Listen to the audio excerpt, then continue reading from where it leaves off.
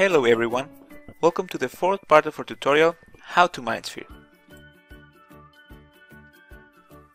In the fourth part of our tutorial, we're going to be showing you our own app, the reason why we were actually able to do all these tutorials.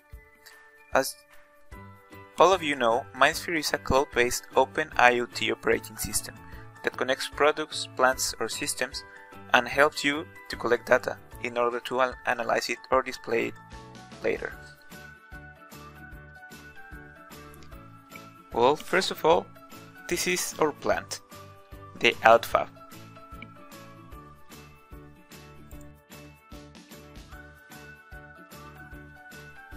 It is basically an automated relay factory and it's the place from where we have been taking data to store it in the MindSphere cloud in order to display it later on our app.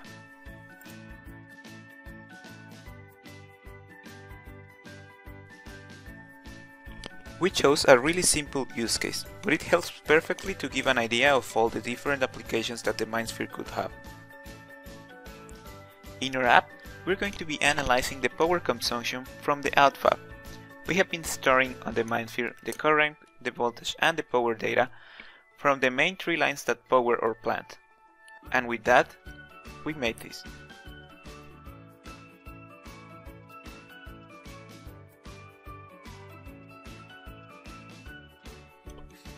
First of all, we have the real-time tab, where we can see the last 15 minutes of the current, the voltage and the power from every line, and it updates every 5 seconds. We also incorporated a really basic statistics button which will display the average, uh, the max value, the minimum value from every line. Also, if you locate the cursor on the graph, you can see what value it has where the cursor is and the time. We also can remove lines if we only want to see a specific one.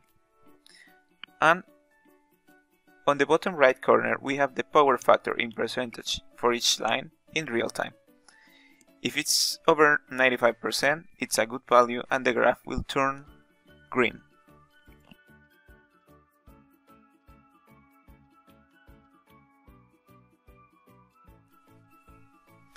We have seen the real-time tab, which is really good because of course knowing the real-time value of a variable is very useful. But if we consider it from a data analysis point of view, then 15 minutes of information it's, well, not that useful. It's simply not enough.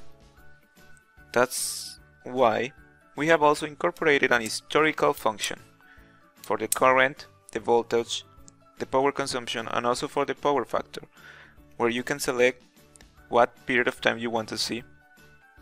Let's say you want to see a week, a month or a year. Just select it, click on update and the app will display it on the graph. This graph also has a zoom in zoom out function in case you want to see something more in detail. Here we have also incorporated the small statistics uh, table which works with the whole period of time that you selected.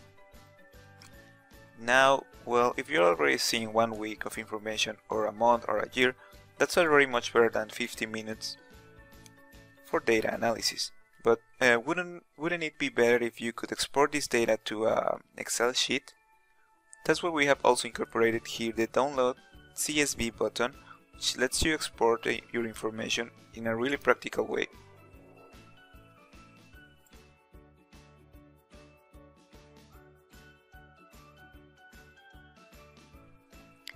We have also added a map function.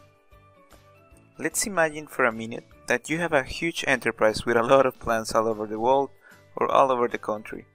Then, with this function you could be able to change between the locations of your plants and their different variables. That was the fourth part of our tutorial How to MindSphere, the AutFab app. We hope that this video was of any help for you and thank you very much for watching.